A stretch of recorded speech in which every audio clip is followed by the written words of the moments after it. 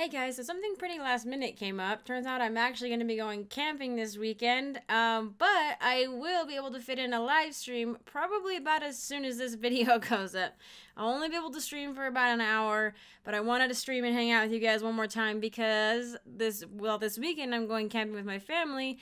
Next Tuesday I'm leaving for a work session up in like somewhere in Idaho. I don't know where, but we're going to be primitive camping.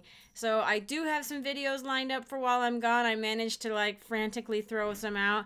Um, I'll have Monday to get ready also, but I'll be spending most of Monday probably getting, you know, getting ready to go. I mean, we're going to be out in the middle of nowhere, middle of nowhere primitive camping. So I might be able to get another couple of videos out. Um, unfortunately, because the Andromeda ones take so long, I've only got one so far ready, which might go up today or tomorrow. And then on Monday, I might be able to get one more done. Um, but it does, it's a very time intensive to get one of the Andromeda ones out because of all the problems we've had.